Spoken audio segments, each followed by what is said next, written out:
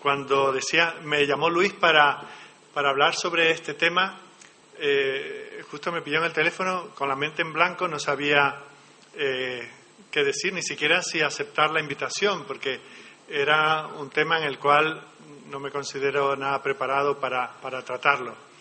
Pero el Señor en su providencia, a veces cuando somos tercos, mm, pues Él insiste. Justo un par de días después de, eh, de recibir la, primera llamada de Luis, me llamaron de León diciéndome que un hermano que venía de Estados Unidos me había traído unos libros. Eh, suele ir cada año a una conferencia y allí le regalan libros. Como él no, no, no lee en inglés, pues me los regala. Y justo uno de ellos eh, trataba sobre este tema.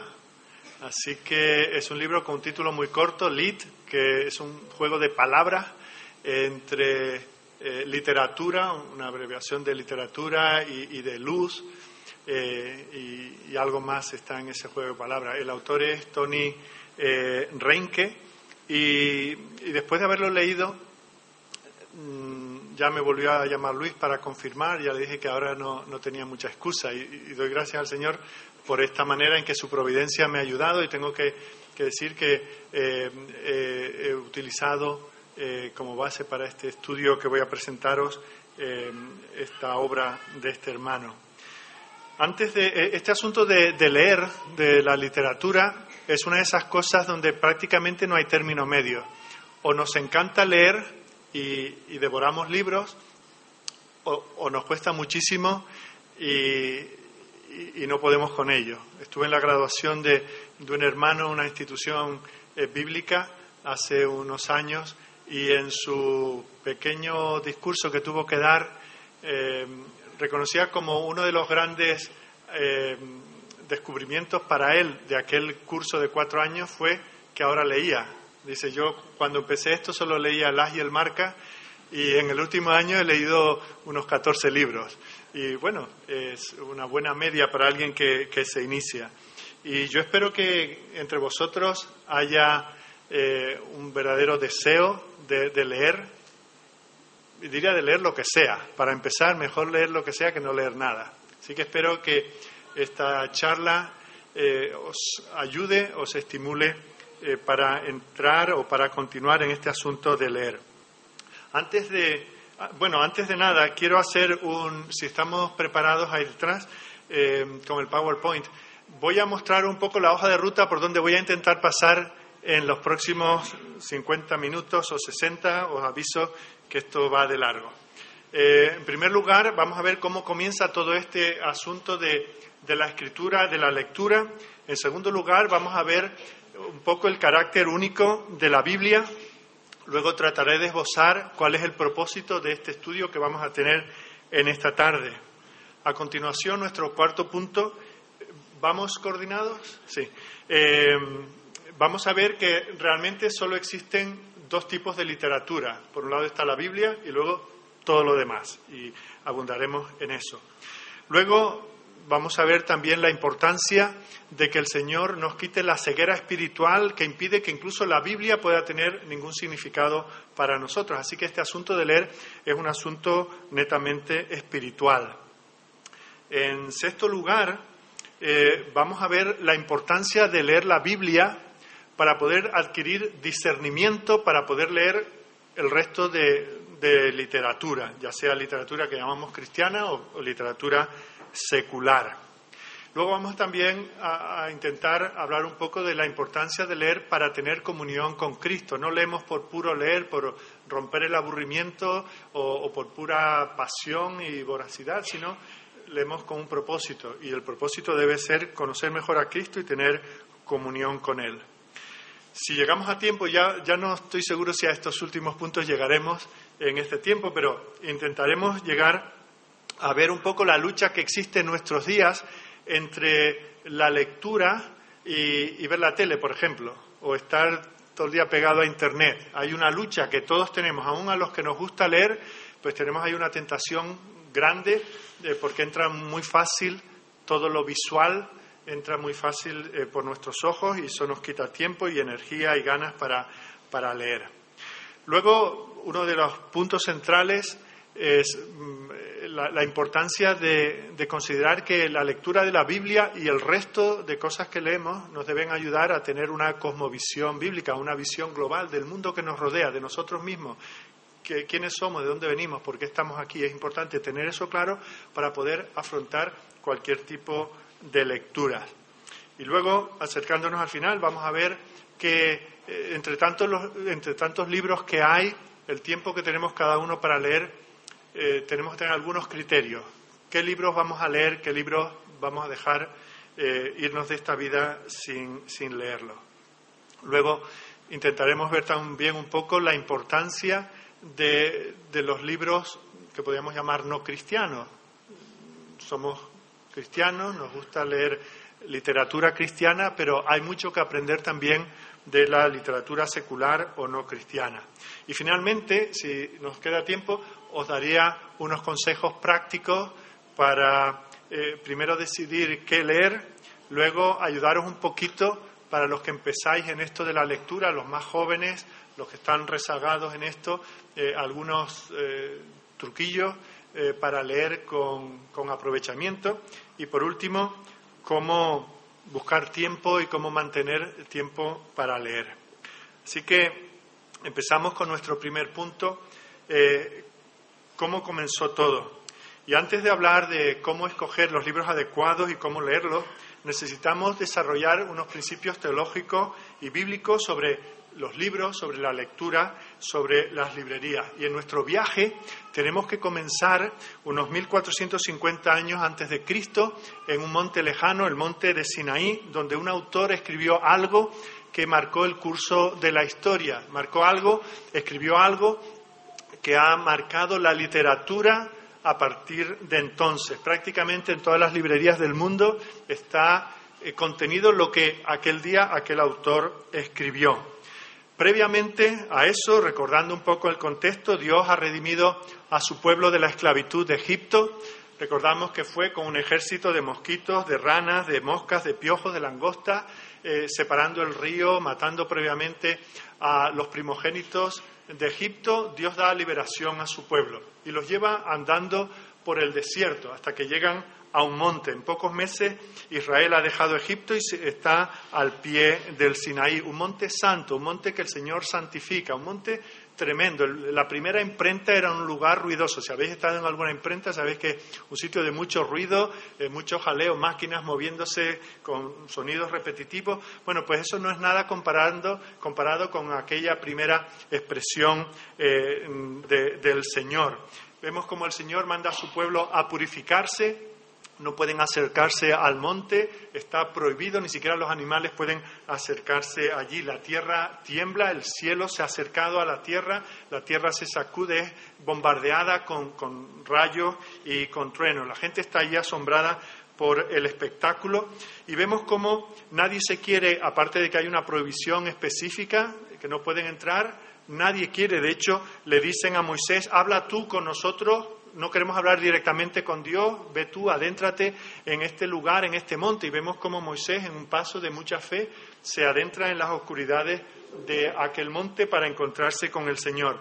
Eso lo encontráis en Éxodo, pero en Deuteronomio, en una especie de nota autobiográfica, Moisés explica cómo era aquella circunstancia. En Deuteronomio 9:9 dice, cuando yo subí al monte para recibir las tablas de piedra, las tablas del pacto que Jehová hizo con vosotros, Estuve entonces en el monte cuarenta días y cuarenta noches, sin comer pan ni beber agua. Y me dio Jehová las dos tablas de piedra escritas con el dedo de Dios, y en ellas estaba escrito según todas las palabras que os habló Jehová en el monte, de en medio del fuego, el día de la asamblea. Así que esa es la manera en que él describe cómo él entró eh, a encontrarse con el Señor que iba a escribir algo que habría de cambiar el curso de la humanidad. Bueno, pues vemos cómo eh, el Señor escribe, lo que escribe lo escribe no en papel, sino en piedra. Moisés baja del monte con aquellas dos tablas bajo el brazo. Y aquellos eran palabras permanentes, eran palabras eternas, grabadas en roca por el propio dedo de Dios. Aquel eh, que creó el universo con el sonido de su voz, aquel que inventó el lenguaje en Edén, aquel que confundió las lenguas en Babel era el que ahora había hablado de una manera especial a su pueblo. Y lo hizo escribiendo, escribiendo sobre la roca. Por cierto, que fue la primera impresión digital de la historia. El Señor lo hizo con su propio dedo. Desde entonces se han escrito miles de libros hablando de este Dios, tratando de explicarlo, tratando de este, entenderlo, algunos negando su existencia, otros probando, derivándola eh, de, aquellas palabras, pues mucho de la literatura que se ha escrito. Pero solamente aquellas dos tablas fueron escritas por el dedo de Dios. Ahora, eso dio lugar, el Señor no paró de hablar ahí, el Señor continuó hablando y continúa hablando en lo que nosotros conocemos como la Biblia, las Sagradas Escrituras. Y eso nos lleva a nuestro segundo punto en esta tarde. Vamos a ver el carácter único de la Biblia. La Biblia es diferente de cualquier otro libro, aún de los mejores libros cristianos que tenéis en esa mesa y espero que dejéis vacía antes de marcharos esta noche. Pero hay una diferencia entre la Biblia y todos estos libros. Por ejemplo, la Biblia es inspirada por Dios. Dios es el autor de cada palabra que encontramos en la Biblia. Pero no solamente tenemos a Dios como autor, sino que la Biblia también es inerrante, es perfecta, no contiene ningún error. La palabra de Dios es verdad y es verdad siempre. La Biblia se valida a sí misma. La Biblia no solo contiene la verdad, sino que es la verdad y da forma a la verdad. El Señor le dijo al Padre, tu palabra es verdad. Bueno, hasta ahí muchos evangélicos, muchos protestantes estamos de acuerdo, pero hay un punto donde a veces fallamos, y es en el asunto de la suficiencia de la palabra del Señor. Algunos, aún llamándose cristianos, aún recurren a, la sabiduría eh, del mundo, acuden a la psicología del mundo, acuden a las filosofías, a la sabiduría humana para complementar, para suplementar la palabra del Señor, como si la palabra fuese insuficiente para todo lo que nosotros necesitamos saber de Dios y de nosotros mismos. Pero fijaos que la Biblia es suficiente. Lo dice el apóstol Pablo en 2 Timoteo 3:15. Desde la niñez has sabido las sagradas escrituras, las cuales te pueden hacer sabio para la salvación por la fe que es en Cristo Jesús.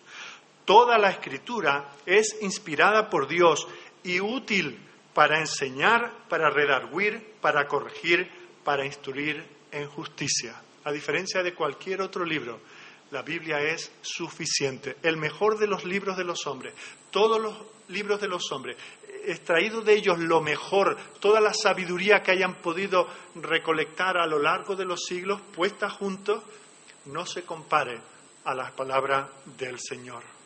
Pero la Biblia no solamente es inspirada, inerrante y suficiente, sino que la palabra de Dios es viva y activa. Tiene poder para transformar vidas. La Biblia transforma. Y aquí estamos hablando de 36 años en los cuales el Señor ha transformado vidas. Muchas de las vidas de vosotros que estáis aquí en esta tarde han sido transformadas precisamente por la palabra del Señor, no por cursos de autoayuda, no por eh, ayuda psicológica, no por terapias de grupo, sino por la palabra de Dios que es viva y eficaz, que cambia los corazones. La Biblia también es suprema, contiene expresiones de verdad insuperables por cualquier otra literatura. Y en sexto lugar, vemos como la Biblia también ofrece una visión global del mundo, una cosmovisión insuperable, una cosmovisión coherente. Explica de dónde venimos, quiénes somos, a dónde vamos, cuál es nuestro principal problema, que es el pecado, cómo se resuelve ese gran problema. La Biblia nos ayuda a interpretar todas las demás realidades. Nos sirve para todas las esferas de nuestra vida. Por eso tenemos que poner aparte la Biblia, las escrituras, la palabra de Dios, aparte de toda la demás literatura. La Biblia es única, es eterna, la Biblia no se contradice, no necesita editores ni autores que corrijan, es perfecta, no carece de nada y recuerda, fue escrita directamente por Dios. Ahora, en tercer lugar, tenemos que ver cuál es el propósito de este estudio y es considerar la lectura desde una perspectiva cristiana. Hemos hablado del Sinaí y cómo Dios habló desde el Sinaí, cómo Dios escribió desde el Sinaí. Y nos preguntamos, ¿qué ha cambiado en eso o qué ha cambiado eso respecto a lo que yo leo? Respecto a mi relación con la literatura. ¿Qué relación tiene el Sinaí con esos libros que hay sobre la mesa o sobre las novelas que tienes en casa o, lo que ves al pasar en el escaparate de la librería? ¿Qué tiene que ver Dostoyevsky? ¿Qué tiene que ver Lloyd Jones? ¿Qué tiene que ver Pérez Reverte con lo que sucedió en el Sinaí? Pues tiene que ver todo. Porque es que la Biblia nos da la visión adecuada del mundo para nosotros poder entender todo lo demás, incluida toda la literatura. La Biblia es como una rejilla, ese, no sé cómo se llama aquí, colador, se llama para colar la nata de la leche, que tampoco nos gusta a algunos, ¿verdad? Bueno, pues es con la Biblia con la cual nosotros colamos todo lo demás, todas las realidades, todos los conceptos que nosotros recibimos. Es ella la que nos da el baremo de si es válido y para tomarlo y vivir por ello, o si es para desecharlo. Simplemente es información para entretenernos, es una buena novela o un pedazo de historia. La Biblia es perfecta, suficiente y eterna. Y es a la luz de la perfección de la Biblia que nosotros analizamos la imperfección del resto de la literatura. Es a la luz de la suficiencia de la escritura que nosotros analizamos la insuficiencia del resto de los libros. Es a la luz de la eternidad de la Biblia que nosotros analizamos lo pasajero del resto de la literatura. La literatura humana, cristiana o no cristiana, puede ser inspiradora, pero no es inspirada por Dios. Por eso la Biblia está separada de todo lo demás. La literatura humana puede tener algo de verdad, algo de bondad, algo de hermosura, pero no deja de ser falible, no deja de ser imperfecta, no deja de tener valor temporal. El apóstol Pedro nos dice en 1 Pedro 1:24, porque toda carne es como hierba y toda la gloria del hombre como flor de la hierba. El hombre y todo lo que el hombre puede producir, su literatura es como la flor de la hierba. El mejor libro ahora queda ya como desfasado dentro de un tiempo, ¿verdad? La hierba se seca y la flor se cae, mas la palabra del Señor, esa permanece para siempre. Y esta es la palabra que por el Evangelio os ha sido anunciada. Hay una gran diferencia entre la Biblia y el resto de los libros. Eso nos lleva a nuestro cuarto punto. Ya lo dije al principio al enumerarlo, desde que Moisés descendió del monte con las dos tablas de piedra bajo el brazo, toda la literatura se puede dividir en dos clases. Algunos están pensando literatura cristiana y literatura no cristiana. No, la Biblia y todo lo demás.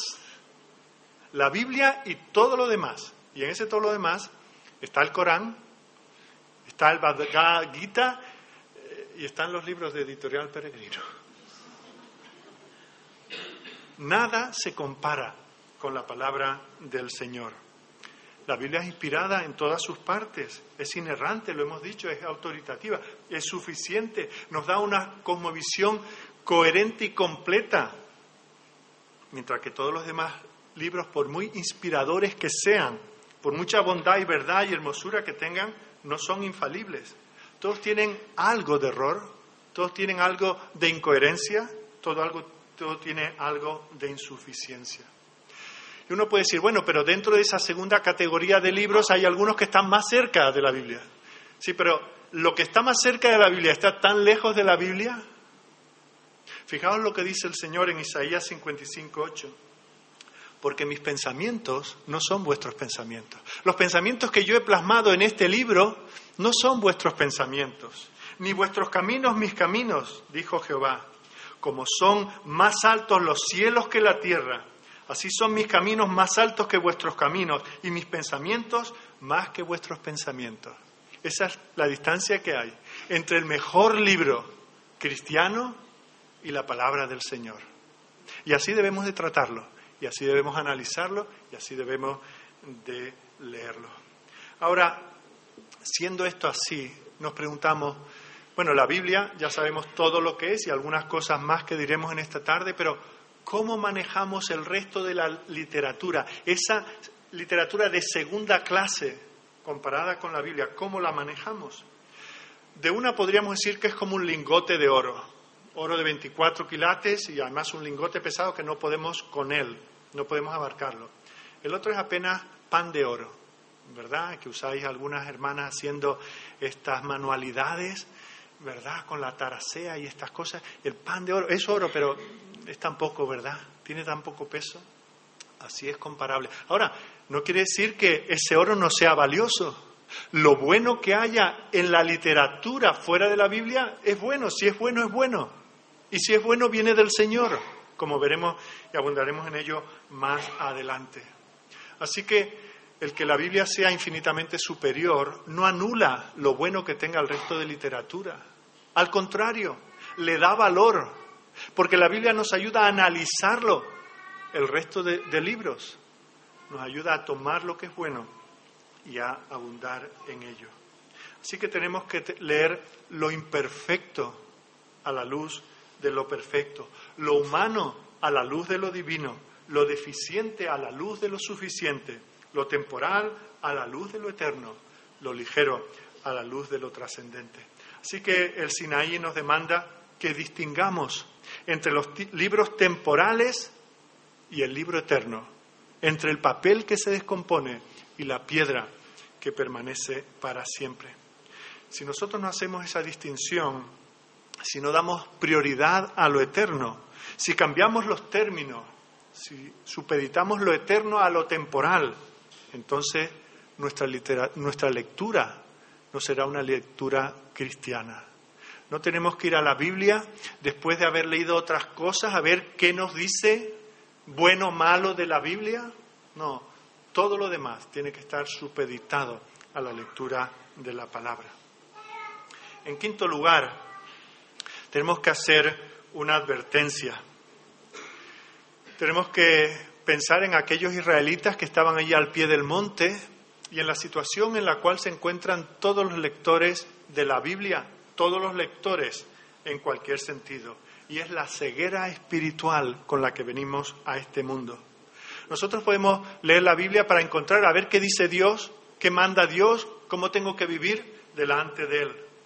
Pero la simple lectura de la Biblia no nos va a hacer cristianos. Los mandamientos por sí mismos la lectura de este libro llamado Sagrada Biblia automáticamente no nos va a transformar. No tiene la capacidad en sí misma para ayudarnos a entenderla, para empujarnos a obedecerla, para honrar a Dios, que es el autor de la Biblia. ¿Por qué no tiene esa capacidad? No es que haya deficiencia en la Biblia, la deficiencia está en el que la lee. Y la deficiencia se llama ceguera espiritual. Fijaos que ni siquiera aquellas diez palabras que el Señor escribió en piedra en sí mismas fueron capaces de cambiar a un solo hombre. Al contrario, se rebelaban contra la palabra. La ley no puede convencer al hombre de pecado. La ley no ofrece vida eterna, no puede cambiar los corazones, no puede generar una obediencia que agrade a Dios. Hace falta otra cosa. Tampoco la ley tiene ese propósito. Este es el caso de, por ejemplo, Saulo de Tarso. Él era el hombre ideal para esto. Tenía el ADN correcto, venía de la tribu adecuada, de la nación adecuada, había tenido la preparación eh, académica eh, adecuada, el conocimiento, la cultura, pero hasta que él no quedó ciego y vio a Cristo con los ojos de la fe por una obra de gracia, él no entendía la escritura.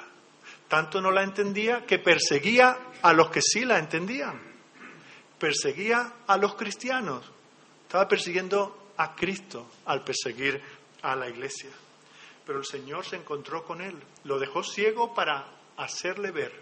Y entonces él fue transformado, el Señor quitó su ceguera espiritual y a partir de entonces él pudo ver y entender la palabra del Señor. Bueno, pues eso mismo es lo que ocurría a todo Israel. Y eso mismo es lo que te ocurre a ti y a mí, es en esas condiciones de ceguera que venimos nosotros a este mundo. Una ceguera que no nos permite ver la gloria de Dios en este libro. Y entonces lo leemos, por más que nos dice, no, empieza en Juan. No sé si es buena recomendación, ¿verdad? Pero en el principio era el verbo, el verbo era Dios. esto es muy complicado, ¿verdad? ¿Quién entiende eso? Claro, si empezamos por Primera de Crónicas 1.1, Adán, Set, Enos. Hombre, eso tampoco ayuda mucho, ¿verdad? Pero no es por ir al versículo adecuado que nosotros vamos a empezar a entender. No hay un versículo que sea la clave de todo lo demás. La clave para entender es que el autor de la palabra abra nuestro entendimiento para recibir la verdad. Este es un problema universal. El pecado ciega, nos impide tener percepción espiritual. Dios tiene que iluminar nuestros corazones. Dios tiene que quitarnos el velo Dios tiene que, como dice el apóstol Pablo en 2 Corintios 4, 6, mandar que de las tinieblas resplandezca la luz. Y Él es el que ha resplandecido nuestros corazones para iluminación del conocimiento de la gloria de Dios en la faz de Jesucristo. Y ese acto de quitar el velo que nos ciega es un acto de la gracia soberana de Dios. Si tú todavía eres incapaz de leer la Biblia con entendimiento, pide a Dios que tenga gracia para contigo, que te ayude a entender, para que puedas aprovechar la enseñanza de la palabra, para que tu vida sea transformada. Y no solamente seas un lector, sino que seas un lector con entendimiento de la palabra del Señor. Cuando nosotros experimentamos esa renovación espiritual, entonces ese velo se cae de nuestros ojos. Entonces vemos a Dios en su gloria lo vemos revelado en Jesucristo. Lo vemos viniendo a este mundo, viviendo una vida de obediencia absoluta. Lo vemos muriendo vicariamente por los pecadores. Lo vemos resucitando para nuestra justificación. Lo vemos ascendiendo a la diestra del Padre sentado intercediendo por nosotros. Es entonces cuando nosotros podemos disfrutar de la lectura con aprovechamiento de la lectura de la palabra del Señor. Y cuando nosotros vemos a Dios de esta manera, a Dios en Cristo, nuestra percepción del resto de cosas que leemos cambia totalmente. Ahora comenzamos a entender, es como tener la clave para entender un jeroglífico. Necesitamos el Espíritu de Dios obrando en nuestros corazones, lo cual nos lleva a nuestro sexto punto. La fe en Jesucristo nos trae, entre otros, un beneficio radical para los lectores cristianos. La fe en Jesucristo nos da discernimiento. El discernimiento es la habilidad para hacer tres cosas. Probarlo todo, retener lo bueno y abstenernos de toda especie de mal. Sin discernimiento espiritual no podemos probarlo todo no sabremos retener lo bueno porque no lo distinguiremos y no seremos capaces de abstenernos de toda especie de mal. El discernimiento es la pericia para comparar lo que escuchamos o leemos con la palabra de Dios. Leas lo que leas, un libro de tu profesión, un libro que te pide el profesor en el instituto, una novela que te acaban de prestar, el último bestseller que has pillado en el corte inglés, sea lo que sea, lo tienes que leer a la luz de esta nueva percepción, de este discernimiento espiritual.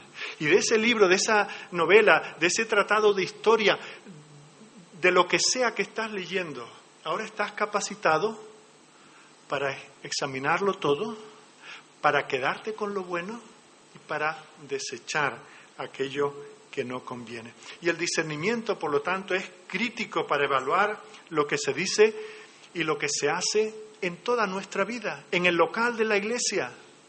¿Cómo entendemos a los hermanos que nos rodean? ¿Cómo escuchamos el sermón y lo aplicamos a nuestras vidas? ¿Cómo vivimos nuestra vida de, de puertas afuera de la iglesia? Para eso nos es necesario el discernimiento espiritual. ¿Y sabéis una cosa? Esto no te viene así de repente. Esto no te lo puede proveer el pastor en una tarde por imposición de manos. Eso se adquiere poco a poco con el arduo trabajo de escudriñar las escrituras. Ellas son las que nos dan el criterio para nosotros discernirlo todo, aprovechar lo bueno y desechar lo que no conviene. Por lo tanto, el discernimiento tiene su origen en la gracia de Dios que nos quita el velo de la ceguera espiritual. Y es entonces cuando eso se produce que comenzamos a tener la mente de Cristo. Vemos las cosas como las ve Cristo, las vemos desde la perspectiva de Dios. Eso es lo que dice el apóstol Pablo en 2 Corintios 2, 1 Corintios 2.15. Dice que el hombre espiritual juzga todas las cosas, discierne todas las cosas, pero él no es juzgado de nadie. Porque ¿quién conoció la mente del Señor? ¿Quién le instruirá? Y luego dice, nosotros los cristianos tenemos la mente de Cristo. Nosotros podemos discernir, ya sea un libro cristiano, un libro secular, un libro de matemáticas o un libro de geografía. Podremos discernir lo bueno que hay en ello, lo aprovechable que hay en ello, solamente con ese discernimiento espiritual. Una vez que lo tenemos, pensamos, leemos y vivimos nuestra vida a la luz de las verdades espirituales del Evangelio. Ahora, con la mente de Cristo leemos con discernimiento. ¿Os acordáis de cuando erais niños o, con vuestros hijos o nietos, cuando empezaron a leer, sabían juntar las letras, la P con la A, pa, ¿verdad? Y la P con la A, pa, pa, pa, y bien pero llegaban al final de una línea y no se acordaban, eran de alguna manera analfabetos funcionales. Y a veces nos pasa a nosotros. Leemos una cosa y, ah, pues sí, pero no tenemos discernimiento. Esto es lo que dice, pero yo no lo sabría expresar, yo no lo sabría decir. Para eso nos hace falta el discernimiento espiritual. Y es con ese discernimiento que nosotros analizamos todo lo demás que leemos. Y el apóstol nos hace un ruego, el apóstol Pablo, en Romanos capítulo 12, versículo 2. No os conforméis a este siglo, sino transformaos por medio de la renovación de vuestro entendimiento para que comprobéis, para que discernáis cuál sea la buena voluntad de Dios, agradable y perfecta. Es esencial para poder leer como cristianos, tener un buen conocimiento de la escritura, pedirle a Dios que por su espíritu nos dé ese discernimiento espiritual.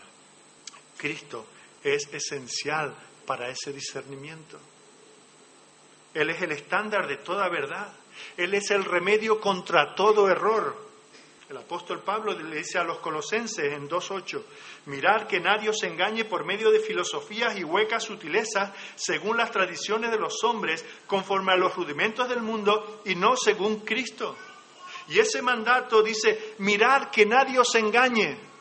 Y, en la práctica, Pablo, ¿y eso cómo se hace? ¿Con una escopeta? ¿Un tirachinas? ¿Un, cristal blindado? ¿Cómo me protejo para que nadie me engañe? Con discernimiento espiritual. Sed transformados en la renovación de vuestro entendimiento para que podáis discernir y cuando venga una herejía, o cuando venga, a veces, y esto es pasarme a, lo de audiovisual, cuando vemos un documental de estos preciosos de la dos que nos acercan a África aquí, con sus leones o con sus jirafas y todo eso, y, decimos, ¿qué, qué Dios tan hermoso tenemos. Pero va el locutor y dice que, claro, la evolución de la jirafa en los 10.000 millones de años le ha llevado a tener el cuello tan alto, ¿no?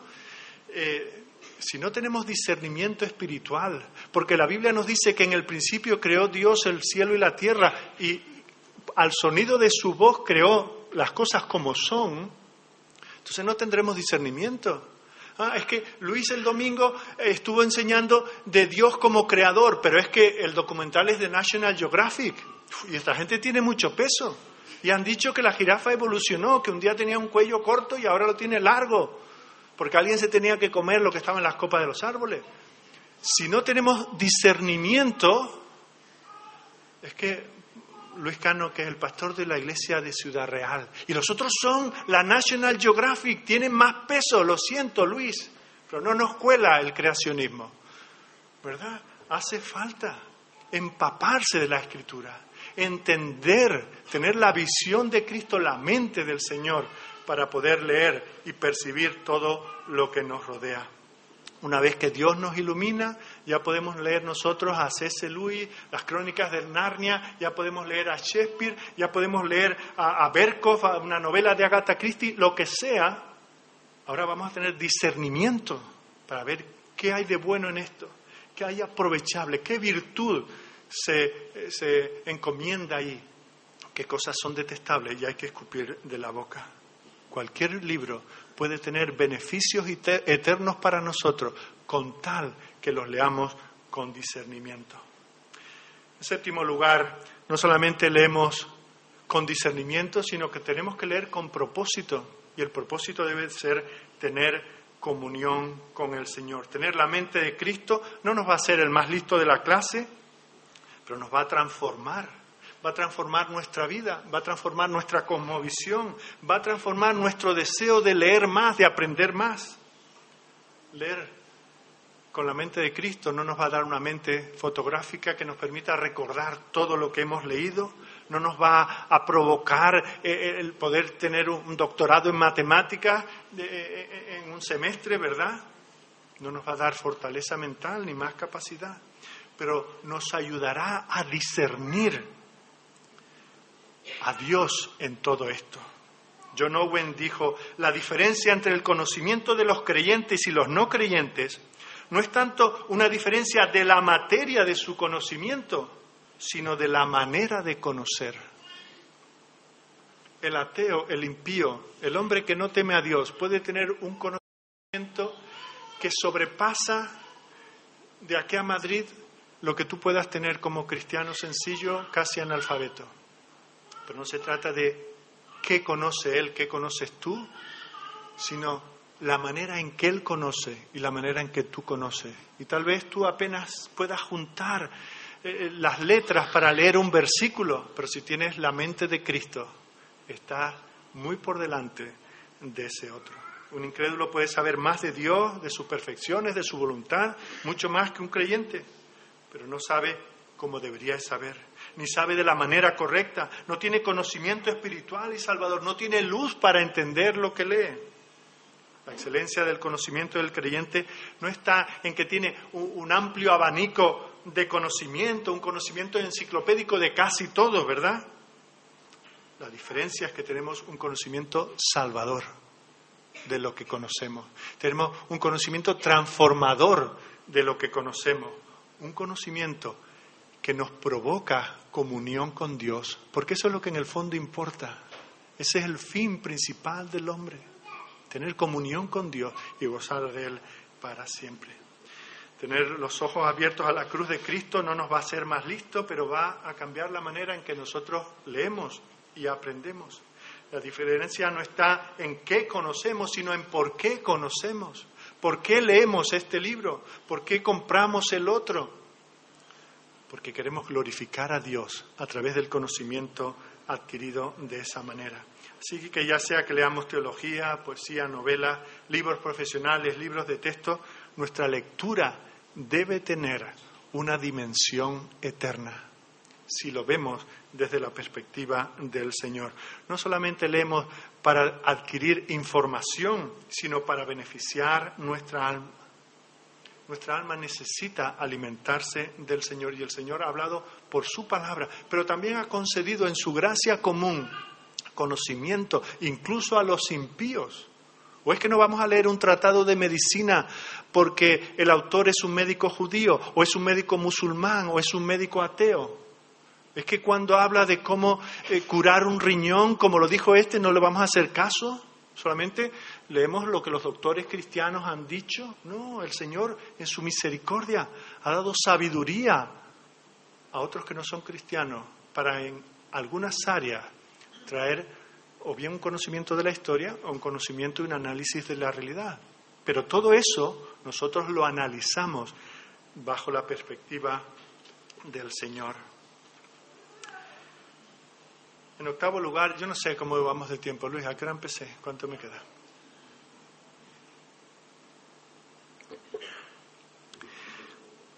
Vamos a hablar ahora, estamos en el octavo punto, ¿verdad? Gracias. Vamos a ver lo difícil que es leer en esta edad de lo audiovisual. Sabéis que hasta hace 150 años más o menos los periódicos eran pura letra, columnas y columnas de puras palabras, artículo tras artículo, información tras información. Solamente fue en la década de 1860 al 70 donde los editores eh, mm, desarrollaron la técnica para ilustrar la información. Y a partir de ahí, el mundo de la literatura cambió, se produjo una revolución gráfica, hubo una innovación total en la manera en que se publica. Para las nuevas generaciones, a partir de entonces, ver y no leer se convirtió en la base para creer. Y hoy vivimos en la cresta de la ola de esa revolución gráfica. Ningún editor serio se atreve a publicar sin imágenes.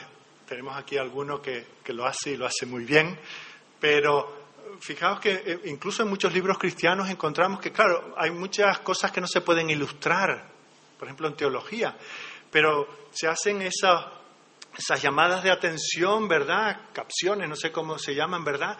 Que en mitad de la página te ponen una frase extraordinaria que hay en esa página, un poco para romper la monotonía de las letras las portadas de los libros. Se piensa muy bien.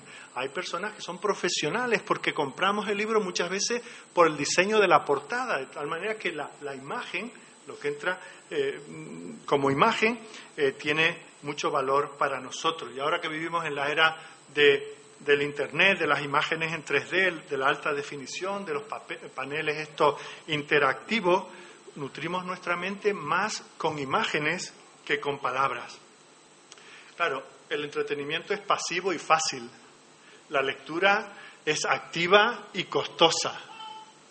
Y claro, somos perezosos por naturaleza, ¿verdad? Y ante tal avalancha de imágenes, los libros están cayendo en el desuso. Y en esta parte de la presentación quiero hablar de, de imágenes y de palabras, de imágenes y de libros. Esta generación de los WhatsApp, que escriben de manera que los de mi generación no somos capaces de entender esos 120 o 150 caracteres. ¿Qué se pierden si dejan de leer como están haciendo? ¿Qué perdemos si en los próximos 20 años llenamos nuestras mentes con series de televisión, con partidos de fútbol, con, con videojuegos, con Internet? ¿Qué perdemos si dejamos de leer? Por otro lado, ¿Qué ganamos si llenamos nuestras vidas en los próximos 20 años de buena literatura? De una lectura disciplinada de la buena literatura.